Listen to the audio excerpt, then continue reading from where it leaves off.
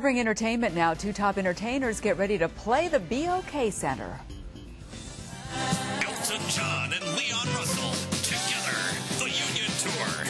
It's official. Sir Elton John is coming back to Tulsa and taking the stage with hometown favorite Leon Russell. The BOK Center announced it this morning. Each will play their greatest hits along with songs from their new collaboration album called The Union.